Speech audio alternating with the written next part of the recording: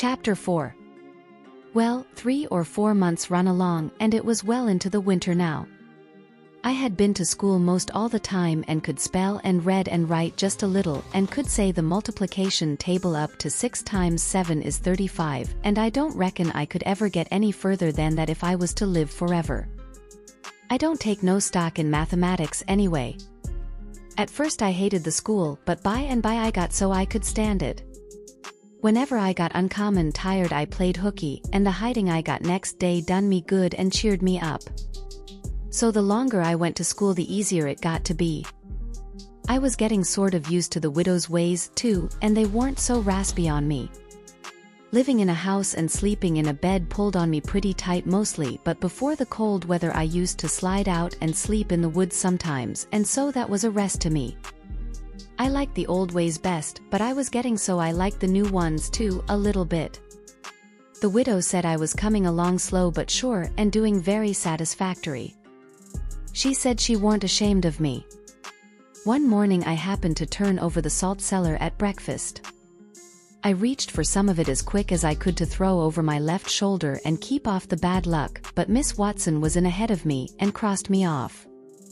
She says, take your hands away, Huckleberry, what a mess you are always making.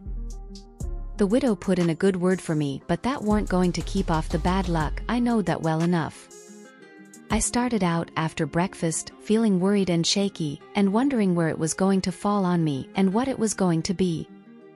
There is ways to keep off some kinds of bad luck, but this wasn't one of them kind, so I never tried to do anything, but just poked along low, spirited and on the watch out. I went down to the front garden and clumb over the stile where you go through the high board fence. There was an inch of new snow on the ground and I seen somebody's tracks. They had come up from the quarry and stood around the stile a while and then went on around the garden fence. It was funny they hadn't come in after standing around so. I couldn't make it out. It was very curious somehow. I was going to follow around but I stooped down to look at the tracks first. I didn't notice anything at first but next I did. There was a cross in the left boot heel made with big nails to keep off the devil. I was up in a second and shinning down the hill. I looked over my shoulder every now and then, but I didn't see nobody. I was at Judge Thatcher's as quick as I could get there. He said, Why, my boy, you are all out of breath. Did you come for your interest? No, sir, AI says, Is there some for me? Oh, yes, a half yearly is in last night, over a hundred and fifty dollars. Quite a fortune for you. You had better let me invest it along with your 6000 because if you take it you'll spend it. No sir I says I don't want to spend it. I don't want it at all nor the 6000 nother. I want you to take it I want to give it to you, the 6000 and all. He looked surprised. He couldn't seem to make it out. He says, why what can you mean my boy? I says don't you ask me no questions about it please. You'll take it won't you? He says, well I'm puzzled. Is something the matter? Please take it, says I, and don't ask me nothing, then I won't have to tell no lies. He studied a while and then he says, oh ho oh. I think I see. You want to sell all your property to me not give it. That's the correct idea. Then he wrote something on a paper and read it over and says, there, you see it says for a consideration. That means I have bought it of you and paid you for it. Here's a dollar for you. Now you sign it. So I signed it and left. Miss Watson's nigger Jim had a hairball as big as your fist, which had been took out of the fourth stomach of an ox and he used to do magic with it. He said there was a spirit inside of it and it knowed everything. So I went to him that night and told him Pap was here again, for I found his tracks in the snow. What I wanted to know was what he was going to do and was he going to stay. Jim got out his hairball and said something over it and then he held it up and dropped it on the floor. It fell pretty solid and only rolled about an inch. Jim tried it again and then another time and it acted just the same. Jim got down on his knees and put his ear against it and listened. But it weren't no use, he said it wouldn't talk. He said sometimes it wouldn't talk without money. I told him I had an old slick counterfeit quarter that weren't no good because the brass showed through the silver a little and it wouldn't pass no how even if the brass didn't show because it was so slick it felt greasy, and so that would tell on it every time. I reckoned I wouldn't say nothing about the dollar I got from the judge. I said it was pretty bad money, but maybe the hairball would take it because maybe it wouldn't know the difference. Jim smelt it and bit it and rubbed it and said he would manage so the hairball would think it was good. He said he would split open a raw Irish potato and stick the quarter in between and keep it there all night, and next morning you couldn't see no brass, and it wouldn't feel greasy no more, and so anybody in town would take it in a minute, let alone a hairball. Well I knowed a potato would do that before, but I had forgot it. C04-37.jpg 49k Jim put the quarter under the hairball and got down and listened again. This time he said the hairball was all right. He said it would tell my whole fortune if I wanted it to. I says go on. So the hairball talked to Jim and Jim told it to me. He says, yo ol father don't know yet what he's a gwine to do. Sometimes he spec he'll go way, and den again he spec he'll stay. The best way is to res easy and let de old man take his own way. Days two angels hoverin' roon bout him. One UVM is white and shiny, and t'other one is black. De white one gets him to go right a little while, den de black one sail and en bust it all up. A body can't tell yet which one gwine to fetch him at the loss. But you is all right. You gwine to have considerable trouble in yo life and considerable joy. Sometimes you gwine to get hurt and sometimes you gwine to get sick, but every time you's gwine to get well. Agin. Days two gals flyin' bout you in yo life. One UVM's light and t'other one is dark. One is rich and t'other is puh. You's gwine to marry de one fust and de rich one by and by. You wants to keep way from de water as much as you kin and don't run no risk, case it's down in de bills dat use gwine to get hung. When I lit my candle and went up to my room that night there sat Pap his own self. Chapter V. I had shut the door too. Then I turned around and there he was. I used to be scared of him all the time, he tanned me so much. I reckoned I was scared now too, but in a minute I see I was mistaken, that is after the first jolt, as you may say, when my breath sort of hitched, he being so unexpected, but right away after I see I weren't scared of him worth both ring about. He was most fifty and he looked it. His hair was long and tangled and greasy and hung down and you could see his eyes shining through like he was behind vines. It was all black no gray so was his long, mixed-up whiskers. There weren't no color in his face, where his face showed it was white, not like another man's white, but a white to make a body sick, a white to make a body's flesh crawl, a tree-toad white, a fish belly white. As for his clothes just rags that was all. He had one ankle resting on t'other knee, the boot on that foot was busted, and two of his toes stuck through, and he worked them now and then. His hat was laying on the floor, an old black slouch with the top caved in like a lid. I stood a looking at him, he sat there a looking at me with his chair tilted back a little. I set the candle down. I noticed the window was up so he had. Clum in by the shed. He kept a looking me all over, by and by he says, starchy clothes vary. You think you're a good deal of a big bug, don't you? Maybe I am, maybe I ain't, AI says. Don't you give me none o' your lip, says he. You've put on considerable many frills since I've been away. I'll take you down a peg before I get done with you. You're educated too, they say, can read and write. You think you're better'n your father now don't you, because he can't? I'll take it out of you. Who told you you might meddle with such highfalutin foolishness? Hey, who told you you could? The widow. She told me. The widow, hey, and who told the widow she could put in her shovel about a thing that ain't none of her business? Nobody never told her. Well, I'll learn her how to meddle. And looky here you dropped that school you hear? I'll learn people to bring up a boy to put on airs over his own father and let on to be better'n what he is. You let me catch you fooling around that school again you hear? Your mother couldn't read and she couldn't write nother before she died. None of the family couldn't before they died. I can't and here you're a swelling yourself up like this. I ain't the man to stand it, you hear? Say, let me hear you read. I took up a book and begun something about General Washington and the wars. When I'd read about a half a minute he fetched the book a whack with his hand and knocked it across the house. He says, it's so. You can do it. I had my doubts when you told me. Now looky here, you stop that putting on frills. I won't have it. I'll lay for you, my smarty, and if I catch you about that school I'll tan you good. First you know you'll get religion too. I never see such a son. He took up a little blue and yaller picture of some cows and a boy and says, What's this? It's something they give me for learning my lessons good. He tore it up and says, I'll give you something better, I'll give you a cowhide.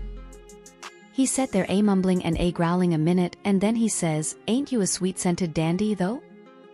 A bed and bedclothes and a look-and glass and a piece of carpet on the floor and your own father got to sleep with the hogs in the tan yard. I never see such a son. I bet I'll take some o' these frills out o' you before I'm done with you. Why, there ain't no end to your airs, they say you're rich. Hey, how's that? They lie that's how.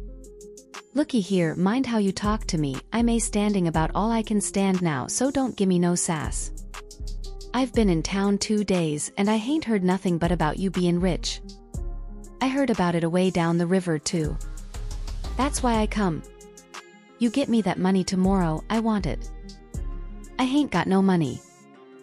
It's a lie. Judge Thatcher's got it. You get it. I want it. I hain't got no money I tell you. You ask Judge Thatcher, he'll tell you the same. Alright, I'll ask him and I'll make him pungle too or I'll know the reason why. Say how much you got in your pocket. I want it. I hain't got only a dollar and I want that too, it don't make no difference what you want it for you just shell it out. He took it and bit it to see if it was good and then he said he was going downtown to get some whiskey said he hadn't had a drink all day. When he had got out on the shed he put his head in again and cussed me for putting on frills and trying to be better than him and when I reckoned he was gone he come back and put his head in again and told me to mind about that school because he was going to lay for me and lick me if I didn't drop that. Next day he was drunk and he went to Judge Thatcher's and bullyragged him and tried to make him give up the money, but he couldn't and then he swore he'd make the law force him. The judge and the widow went to law to get the court to take me away from him and let one of them be my guardian, but it was a new judge that had just come and he didn't know the old man so he said courts mustn't interfere and separate families if they could help it, said he'd druther not take a child away from its father. So Judge Thatcher and the widow had to quit on the business. That pleased the old man till he couldn't rest. He said he'd cowhide me till I was black and blue if I didn't raise some money for him. I borrowed $3 from Judge Thatcher and Pap took it and got drunk and went a blowing around and cussing and whooping and carrying on, and he kept it up all over town with a tin pan till most midnight. Then they jailed him and next day they had him before court and jailed him again for a week.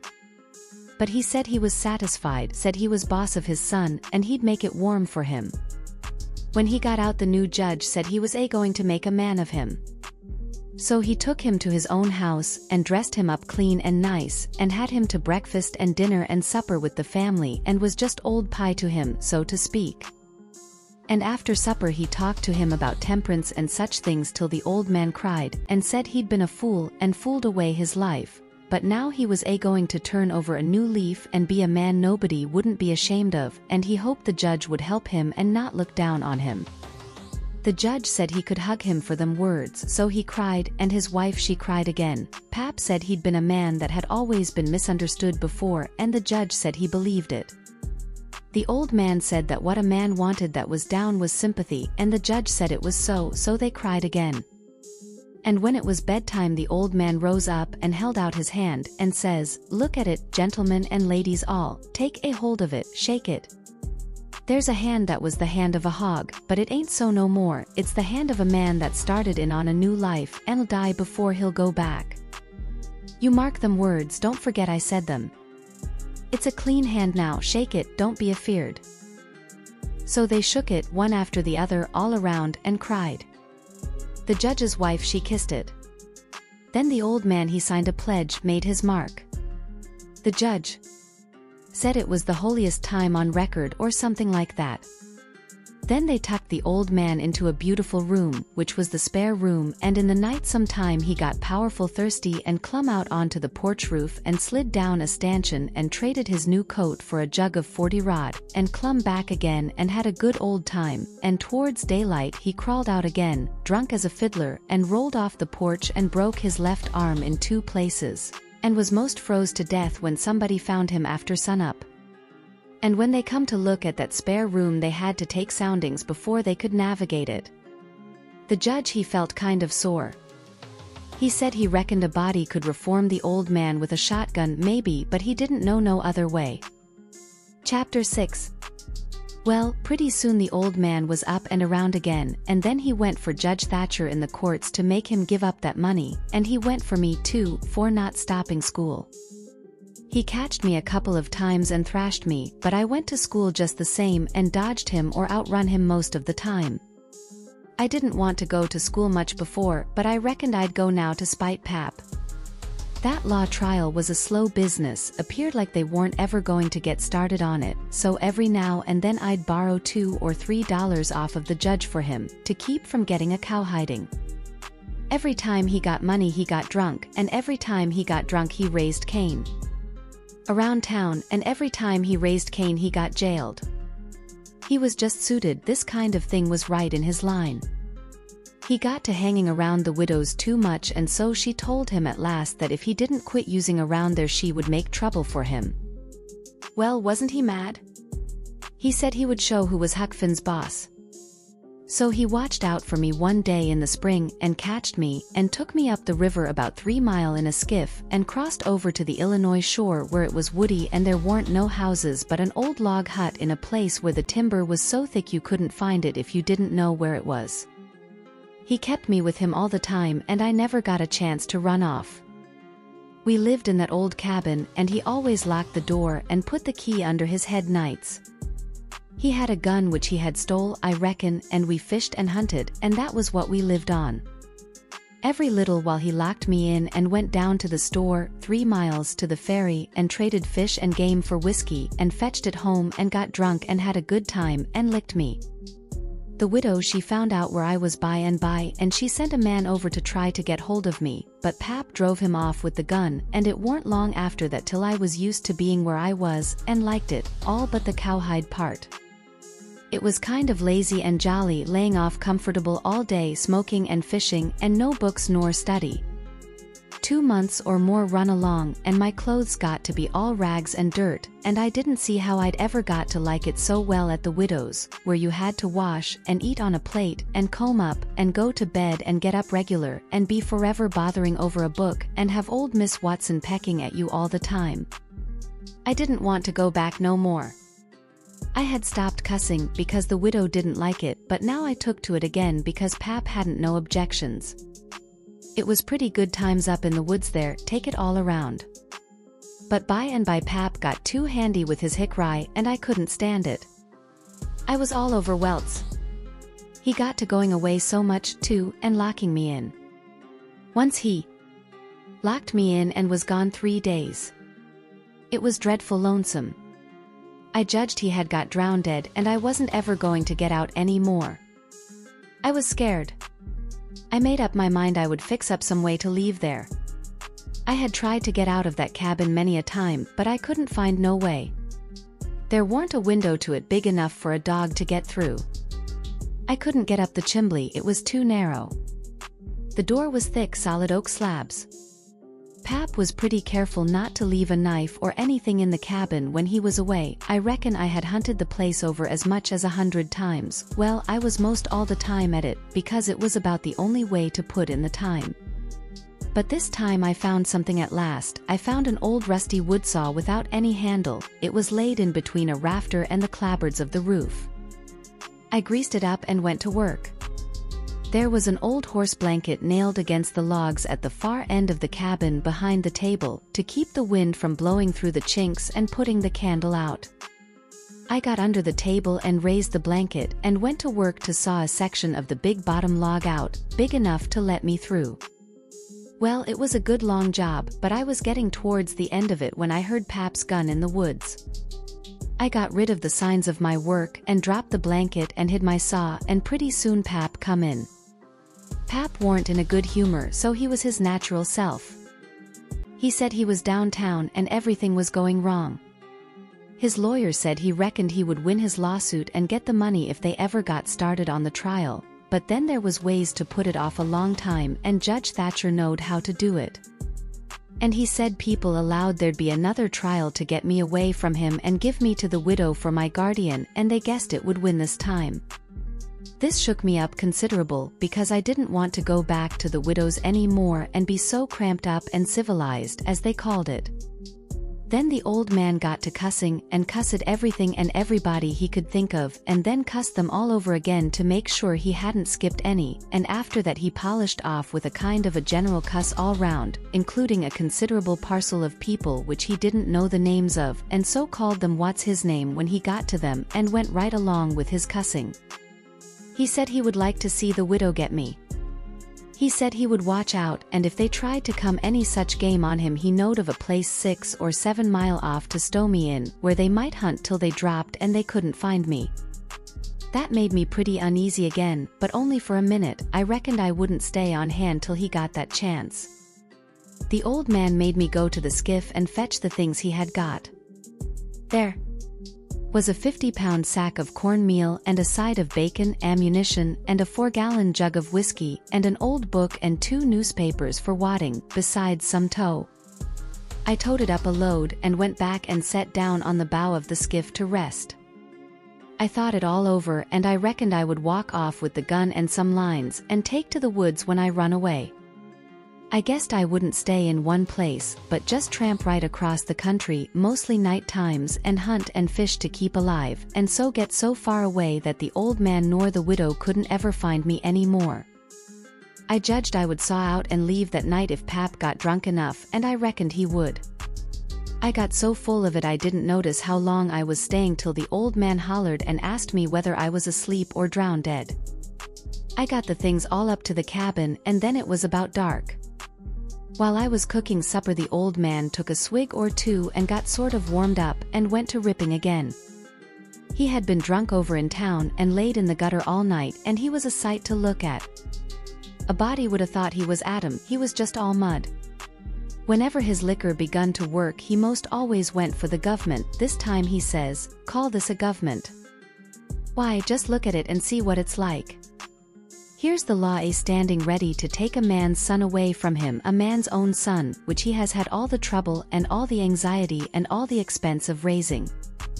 Yes, just as that man has got that son raised at last and ready to go to work and begin to do suthin for him and give him a rest, the law up and goes for him. And they call that government. That ain't all nother. The law backs that old Judge Thatcher up and helps him to keep me out o' my property, Here's what the law does. The law takes a man worth $6,000 and upards and jams him into an old trap of a cabin like this and lets him go round in clothes that ain't fittin' for a hog. They call that government. A man can't get his rights in a government like this. Sometimes I've a mighty notion to just leave the country for good and all. Yes, and I told em so, I told old Thatcher so to his face. Lots of em heard me and can tell what I said. Says I for two cents I'd leave the blamed country and never. Come a near it again. Them's the very words. I says look at my hat if you call it a hat, but the lid raises up and the rest of it goes down till it's below my chin, and then it ain't rightly a hat at all, but more like my head was shoved up through a gint-o stovepipe. Look at it, says I, such a hat for me to wear, one of the wealthiest men in this town if I could get my rights. Oh yes, this is a wonderful government, wonderful. Why looky here. There was a free nigger there from Ohio, a mulatter most as white as a white man. He had the whitest shirt on you ever see, too, and the shiniest hat, and there ain't a man in that town that's got as fine clothes as what he had, and he had a gold watch and chain, and a silver-headed cane, the awfulest old gray-headed nabob in the state. And what do you think?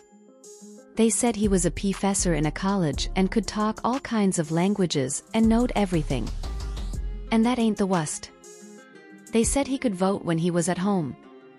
Well that let me out. Thinks I what is the country a coming to? It was election day and I was just about to go and vote myself if I weren't too drunk to get there, but when they told me there was a state in this country where they'd let that nigger vote I drawed out. I says I'll never vote again. Them's the very words I said, they all heard me and the country may rot for all me, I'll never vote Agin as long as I live. And to see the cool way of that nigger why he wouldn't a give me the road if I hadn't shoved him out o' the way. I says to the people, why ain't this nigger put up at auction and sold, that's what I want to know. And what do you reckon they said? Why, they said he couldn't be sold till he'd been in the state six months, and he hadn't been there that long yet. There now that's a specimen. They call that a government that can't sell a free nigger till he's been in the state six months. Here's a government that calls itself a government and lets on to be a government and thinks it is a government and yet's got to set stock still for six whole months before it can take a hold of a prowling, thieving, infernal, white shirt free nigger and pap was a going on so he never noticed where his old limber legs was taking him to so he went head over heels over the tub of salt pork and barked both shins. And the rest of his speech was all the hottest kind of language mostly hove at the nigger and the government though he give the tub some, too, all along, here and there.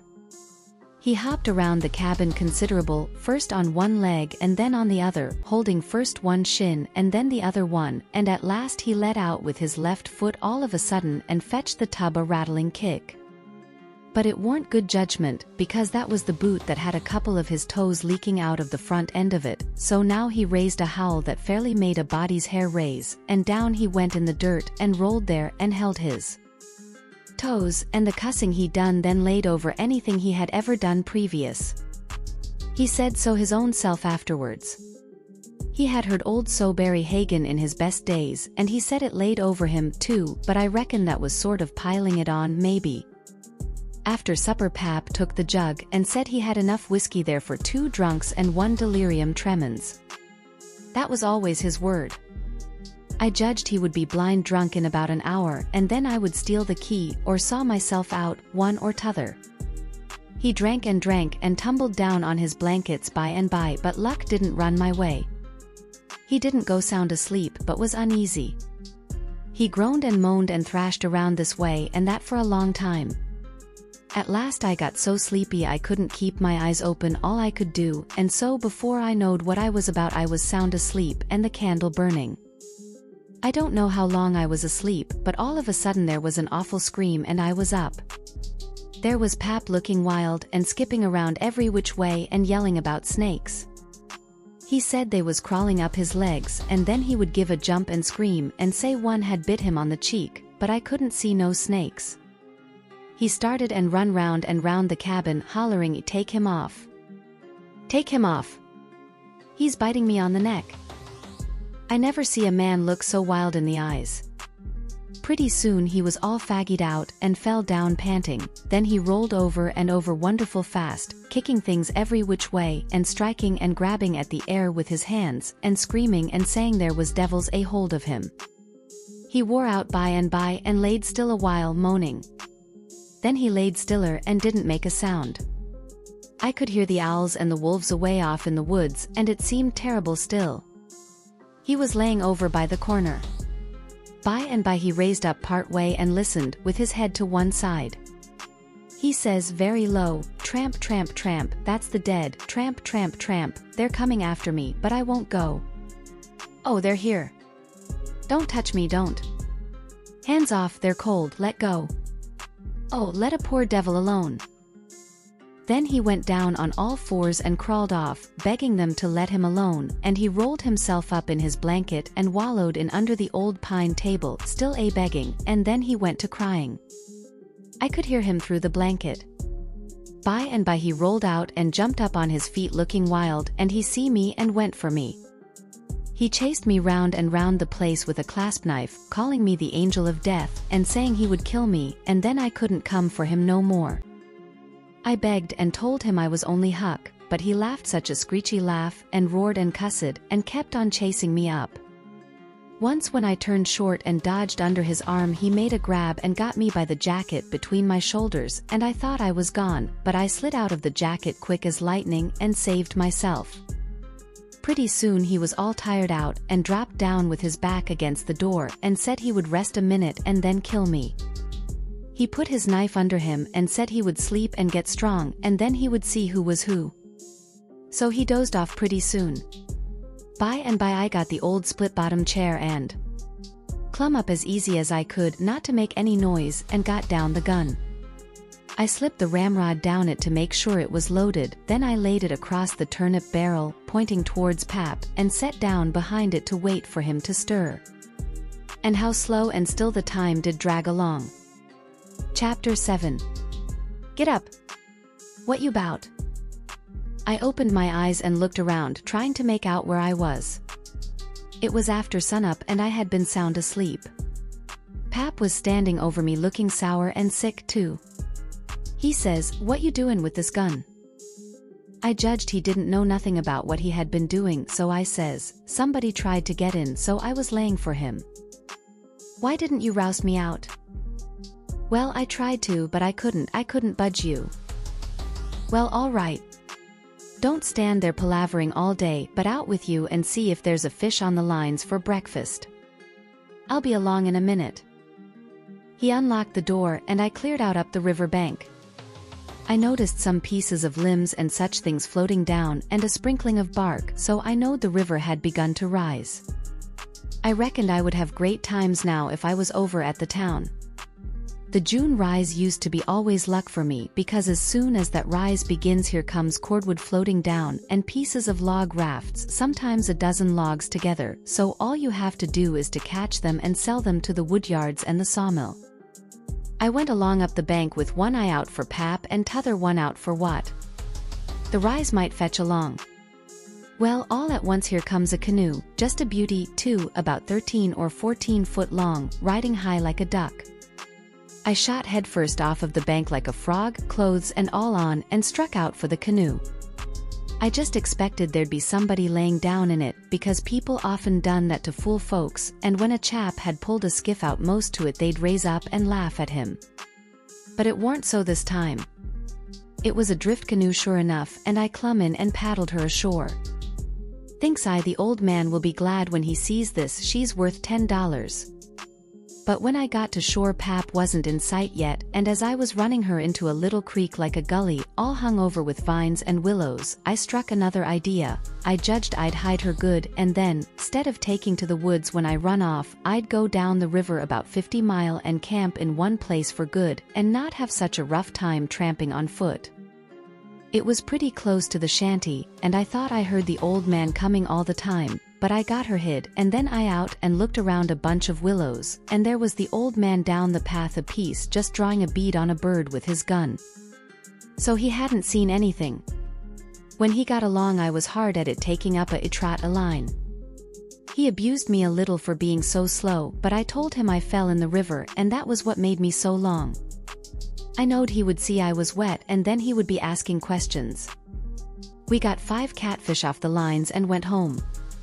While we laid off after breakfast to sleep up, both of us being about wore out, I got to thinking that if I could fix up some way to keep Pap and the widow from trying to follow me, it would be a certainer thing than trusting to luck to get far enough off before they missed me. You see, all kinds of things might happen. Well, I didn't see no way for a while, but by and by Pap raised up a minute to drink another barrel of water and he says, Another time a man comes a prowling round here you roust me out, you hear? That man weren't here for no good. I'd a shot him. Next time you roused me. Out you hear? Then he dropped down and went to sleep again, but what he had been saying give me the very idea I wanted. I says to myself I can fix it now so nobody won't think of following me.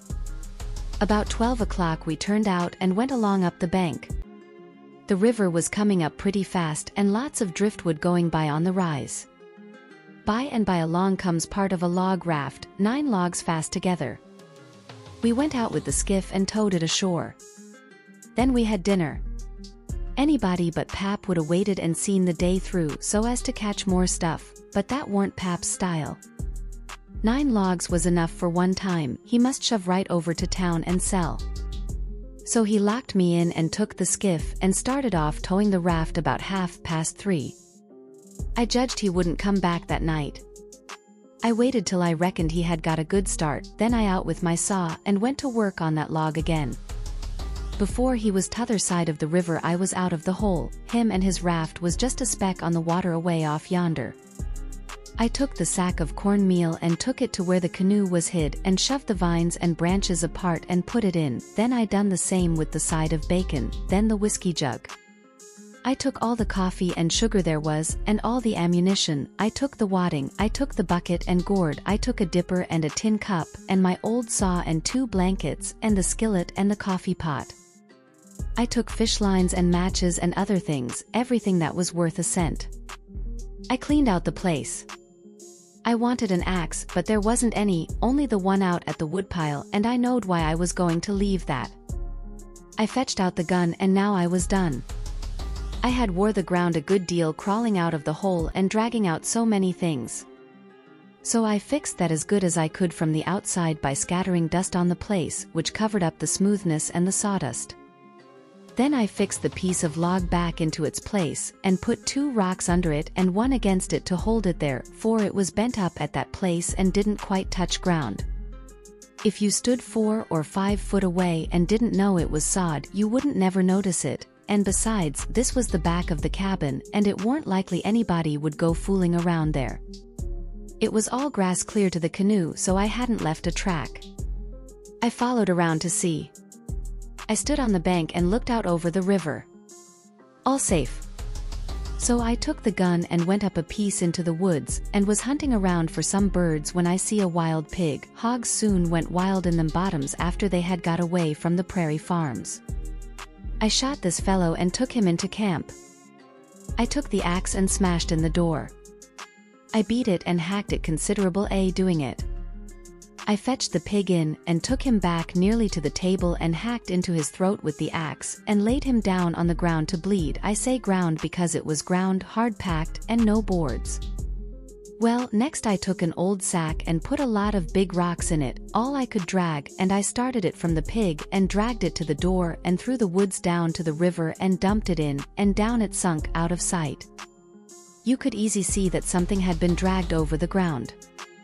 I did wish Tom Sawyer was there, I knowed he would take an interest in this kind of business and throw in the fancy touches. Nobody could spread himself like Tom Sawyer in such a thing as that. Well, last I pulled out some of my hair and blooded the axe good and stuck it on the backside and slung the axe in the corner. Then I took up the pig and held him to my breast with my jacket so he couldn't drip till I got a good piece below the house and then dumped him into the river. Now I thought of something else. So I went and got the bag of meal and my old saw out of the canoe and fetched them to the house. I took the bag to where it used to stand and ripped a hole in the bottom of it with the saw for there weren't no knives and forks on the place. Pap done everything with his clasp knife about the cooking.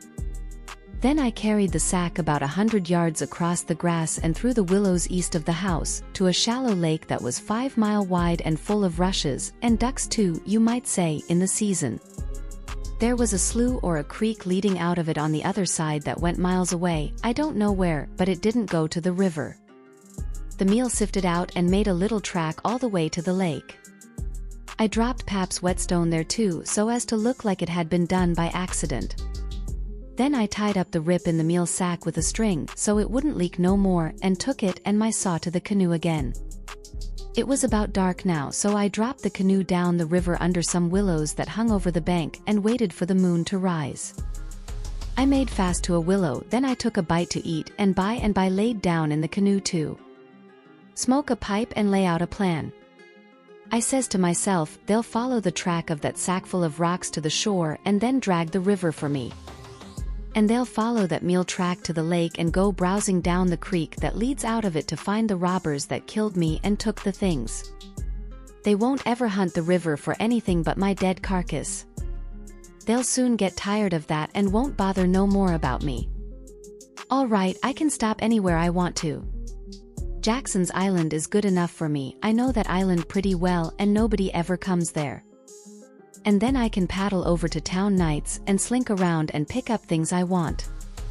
Jackson's Island's the place. I was pretty tired and the first thing I knowed I was asleep. When I woke up I didn't know where I was for a minute. I sat up and looked around a little scared. Then I remembered. The river looked miles and miles across. The moon was so bright I could have counted the drift logs that went a-slipping along, black and still, hundreds of yards out from shore. Everything was dead quiet and it looked late and smelt late. You know what I mean, I don't know the words to put it in.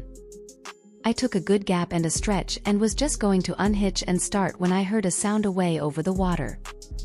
I listened. Pretty soon I made it out. It was that dull kind of irregular sound that comes from oars working in rowlocks when it's a still night. I peeped out through the willow branches and there it was a skiff away across the water. I couldn't tell how many was in it. It kept a coming and when it was abreast of me I see there warn't but one man in it. Thinks I maybe it's Pap though I warn't expecting him. He dropped below me with the current and by and by he came a swinging up shore in the easy water and he went by so close I could have reached out the gun and touched him. Well it was Pap sure enough and sober too by the way he laid his oars. I didn't lose no time. The next minute I was a spinning downstream soft but quick in the shade of the bank. I made two mile and a half and then struck out a quarter of a mile or more towards the middle of the river because pretty soon I would be passing the ferry landing and people might see me and hail me. I got out amongst the driftwood and then laid down in the bottom of the canoe and let her float. I laid there and had a good rest and a smoke out of my pipe looking away into the sky not a cloud in it. The sky looks ever so deep when you lay down on your back in the moonshine I never knowed it before and how far a body can hear on the water such nights. I heard people talking at the ferry landing. I heard what they said too, every word of it. One man said it was getting towards the long days and the short nights now. T'other one said this weren't one of the short ones, he reckoned, and then they laughed, and he said it over again, and they laughed again. Then they waked up another fellow and told him, and laughed, but he didn't laugh, he ripped out something brisk, and said let him alone. The first fellow said he load to tell it to his old woman she would think it was pretty good, but he said that weren't nothing to some things he had said in his time. I heard one man say it was nearly three o'clock and he hoped daylight wouldn't wait more than about a week longer. After that the talk got further and further away, and I couldn't make out the words any more, but I could hear the mumble and now and then a laugh, too, but it seemed a long ways off. I was away below the ferry now, I rose up and there was Jackson's Island about two mile and a half downstream, heavy timbered and standing up out of the middle of the river, big and dark and solid, like a steamboat without any lights. There weren't any signs of the bar at the head it was all underwater now. It didn't take me long to get there. I shot past the head at a ripping rate, the current was so swift, and then I got into the dead water and landed on the side towards the Illinois shore. I run the canoe into a deep dent in the bank that I knowed about, I had to part the willow branches to get in and when I made fast nobody could have seen the canoe from the outside. I went up and sat down on a log at the head of the island and looked out on the big river and the black driftwood and away over to the town, three mile away, where there was three or four lights twinkling. A monstrous big lumber raft was about a mile upstream coming along down with a lantern in the middle of it. I watched it come creeping down, and when it was most abreast of where I stood I heard a man say, stern oars, there. Heave her head to starboard. I heard that just as plain as if the man was by my side. There was a little gray in the sky now so I stepped into the woods and laid down for a nap before breakfast.